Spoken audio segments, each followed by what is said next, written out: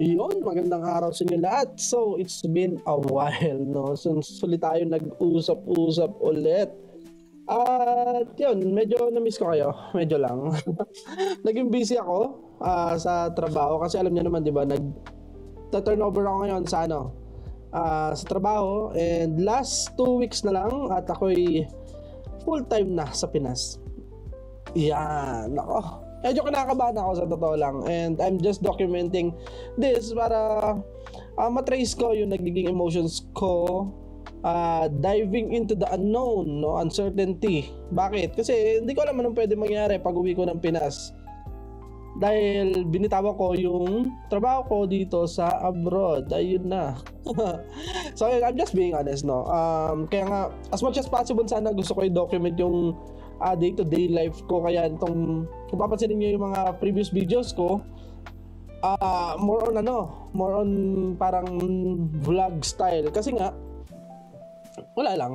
Uh, ano eh, eh nga, gusto kong i-share. Ano ba yung mundo ng Web3? And I think I will have uh, more content once umuwi na ako ng Pilipinas. No? Uh, gusto ko i-share sa inyo yung mundo ng Web3. Hindi lang siya pump and dump, hindi lang siya to the moon to the moon. Uh, there's a whole industry na hindi alam ng karamihan and ayoko nang uh, or ayokong yung current state, ayoko ng current state rather ng mindset regarding sa Web3. Kasi sa Web3, paunahan, sino mauna, siya panalo. And uh, parang we're looking like it's a Ponzi scheme na naman, no? Pero hindi. I, nako, yan. Uh, I promise you guys, hindi siya Ponzi scheme, may career na pwede kayong mabuo uh, through Web3. Marami, marami akong i-share sa inyo sa mga susunod na araw. Or siguro pauwi nyo muna ako ng Pinas, pabayluhin nyo ako and makikita nyo, uh, I will be going into live events, probably interviewing people na talagang nandito sa scene ng Web3. Hopefully, no, I'll, I'll get sponsors uh, to go abroad din para ma-attendan yung mga international um, events kasi nandun talaga yung ano eh, nandun talaga yung labanan eh. Hindi, hindi labanan eh. Kumbaga nandun yung action uh, ng Web3. Wala dito sa ano, wala dito sa mga gaming gaming. Actually, gaming is just one aspect of Web3 and it's not the end all be all ng ano ng ginagawa natin ngayon. Hindi lang Web3, maraming mga uh, applications, real life uh, real life uh, integration ng Web3 na waiting to be discovered, waiting to be developed and I think, no, yun yung magiging mission ko moving forward. I will build a community na rin uh, on top of uh, my current community or my current guild. Uh, gagawa ko ng community starting siguro sa home hometown ko kung saan I will indoctrinate a lot of people sa Web3 na hindi siya hindi siya maglalaro ka lang, hindi siya sisirain yung buhay mo, hindi ka gagastos, no? At pwede kang kumita, no? Uh, for example, ah, a social media manager. Ito, sample lang, a social media manager, pag nag-online ka, naging virtual assistant ka sa uh, sa normal industry, ang per hour mo is $6 per hour. So sabihin na nating uh, malaki na yung maging 70,000 pesos ka.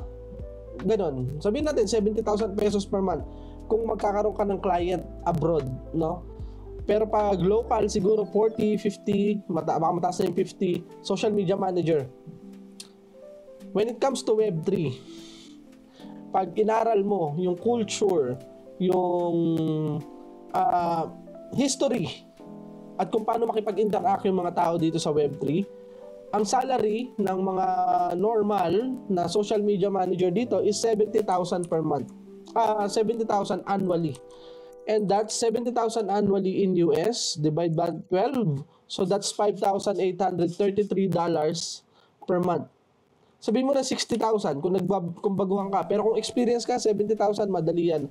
60,000 US dollars divide by 12 is $5,000 that's times 58 now. So $290,000 per month. Ganun yung kalakaran dito sa Web3 may pera. Kumbaga and there's a career and hindi mo kailangan na gumastos, hindi puro palabas ang pera, hindi dito pump and dump, hindi paunahan, hindi Ponzi. Yan. Siguro introduction lang to. uh, after this, I will post some gameplay videos. Siyempre, um, yun naman yung main content ko. Pero, again, this is introduction to Web3 and there will uh, be more content about this. So, hintay lang guys. Ayan, unti-unti lang natin. Okay, sasali ko kayo or papasok kayo sa mundo ng Web3 and I'm really excited about it. Nagpahinga lang tayo ng konti. Yes, nag 2 years tayo na nag-abroad para bumelo and now I think we're ready. We're more educated na um, mas knowledgeable na tayo sa space. Hindi na tayo puro laro-laro lang. And now I am confident that uh, the knowledge na meron ako and yung perspective na meron ako will help a lot of people in the future. So, yun nga guys. Maraming maraming salamat. See you in the next video.